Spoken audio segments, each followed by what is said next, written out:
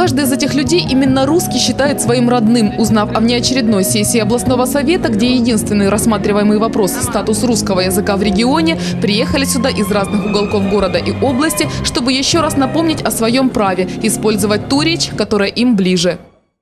Конечно, как хотим говорить только на русском языке, потому что мы родились в этом регионе, э, жили, учились и работаем. И мы только за русский язык. Привыкли к русскому. Украинский тяжело дается, даже по телевизору показывают, ошибки делают многие очень даже.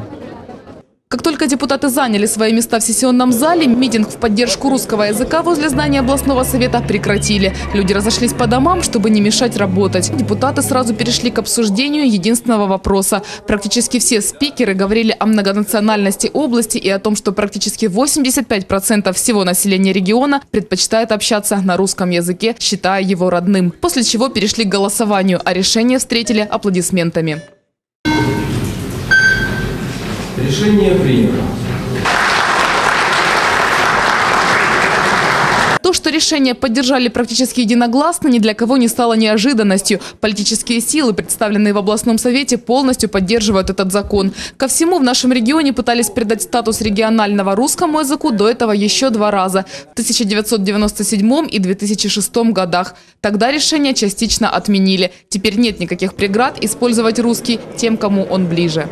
Решение депутатов э, областного со- совета – это э, имплементация закона Украины, который был э, подписан президентом Украины. Информацию о том, что после принятия такого решения в регионе будет сокращаться количество украиноязычных школ и классов, называет полным абсурдом руководитель областного отдела образования Юрий Соловьев. Дети получают образование на том языке, который им ближе, и здесь есть право выбора у каждого. К тому же статус регионального, который присвоен сегодня русскому языку в области, еще не значит, что дети хуже будут изучать государственный язык украинский. Сейчас уровень знания колыновые донецких школьников один из самых высоких по стране. Я думаю, что мы просто должны на сегодняшний день, и учителя, и продолжать то, что мы делали, а именно предоставлять возможности для качественного, глубокого владения языками, э, теми языками, которые и хотят дети, и требуют общество, и требует государство. Народный артист Украины и депутат областного совета Вадим Писарев считает, что от сегодняшнего решения люди только выиграют. И оно станет толчком для развития как русского, так и украинского языков. Шевченко учился у Пушкина.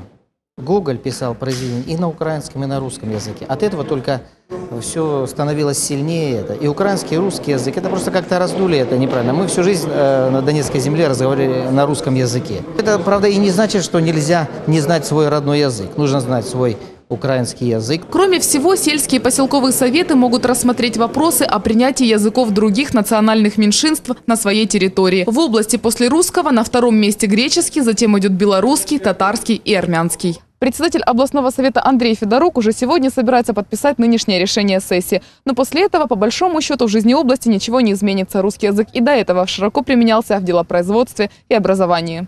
Ольга Шилкина, Алексей Костюк, Панорама.